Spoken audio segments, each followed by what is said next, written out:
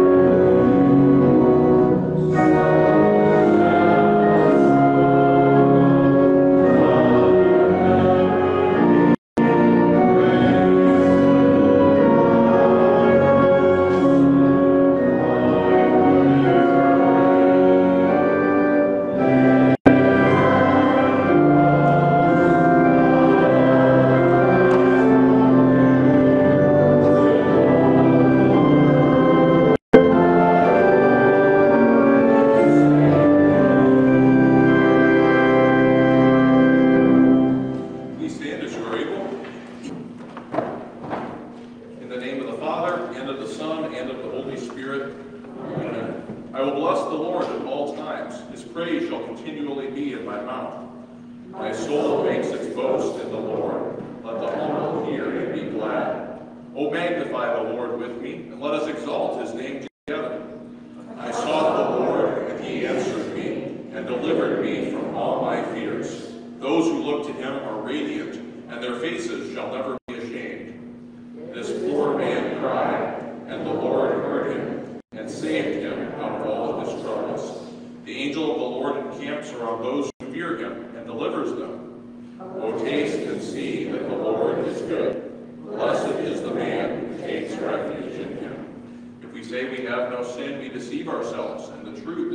us. But if we confess our sins, God, who is faithful and just, will forgive our sins and cleanse us from all unrighteousness. Take a moment of silence for reflection on God's Word for self-examination.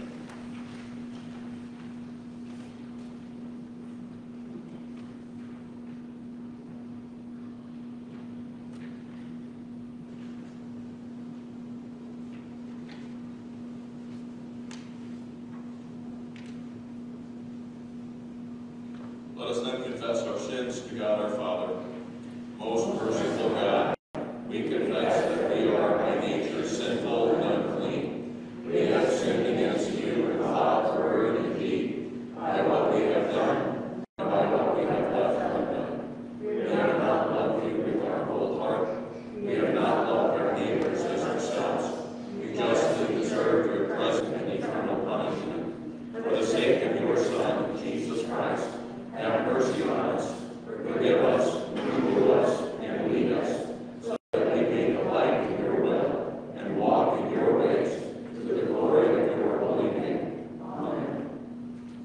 God in his mercy has given his son to die for you, and for his sake he forgives you all your sins. As a called and ordained servant of Christ, and by his authority, I therefore forgive you all your sins in the name of the Father, and of the Son, and of the Holy Spirit. Amen. You may be seated as we sing our hymn of praise.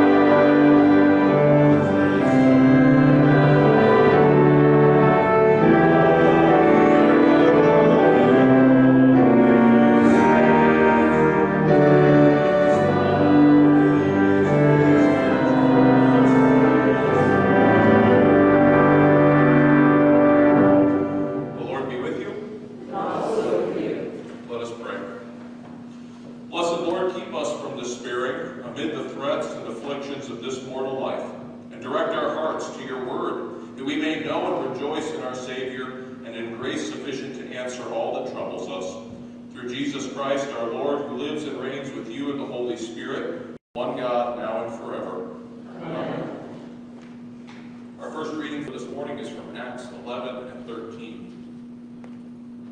Now those who were scattered because of the persecution that arose over Stephen traveled as far as Phoenicia and Cyprus and Antioch, speaking the word to no one except Jews.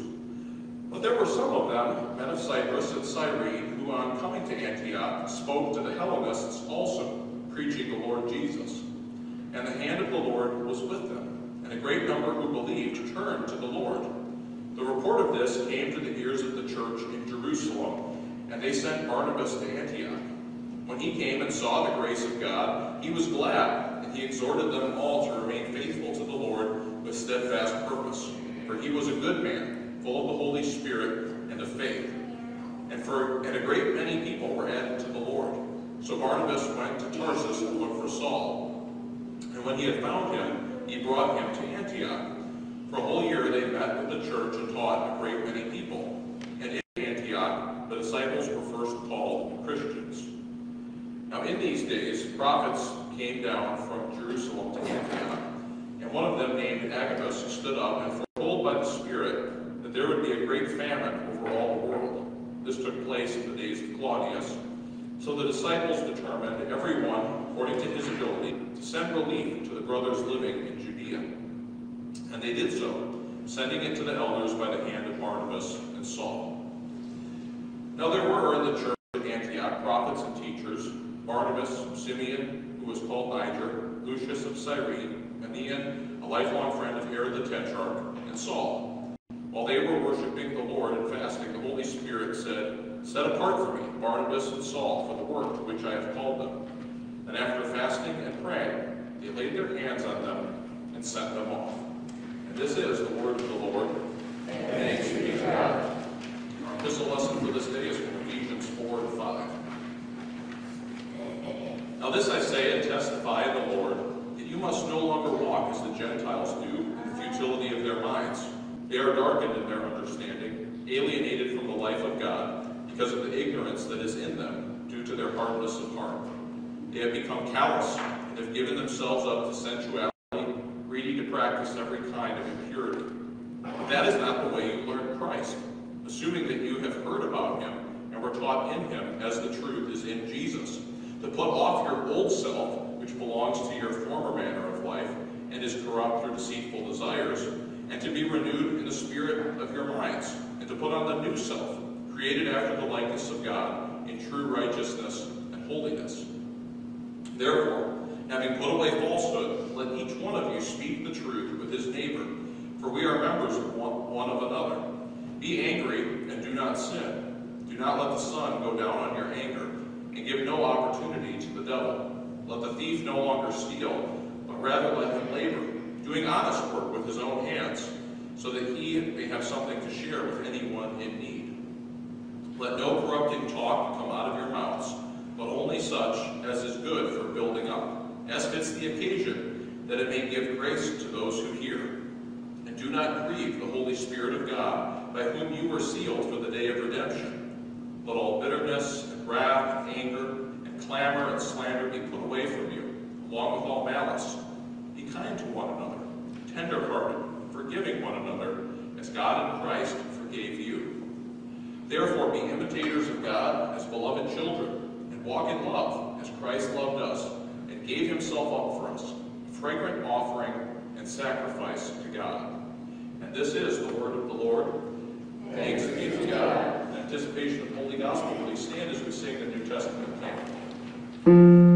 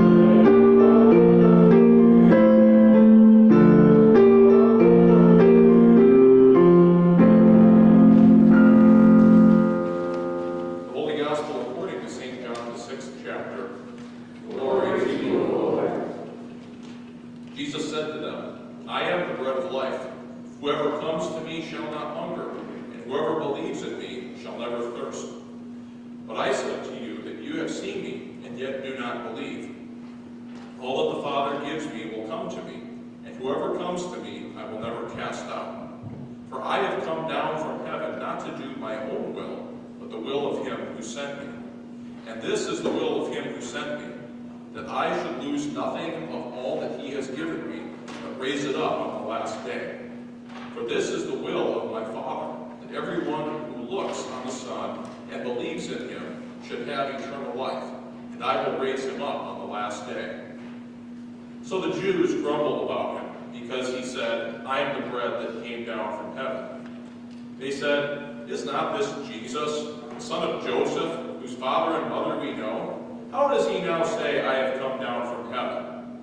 Jesus answered them, Do not grumble among yourselves. No one can come to me unless the Father who sent me draws him, and I will raise him up on the last day. It is written in the prophets, and they will all be taught by God. Everyone who has heard and learned from the Father comes to me. Not that anyone has seen the Father, except he who is from God, he has seen the Father. Truly, truly, I say to you, whoever believes has eternal life. I am the bread of life. Your fathers ate the manna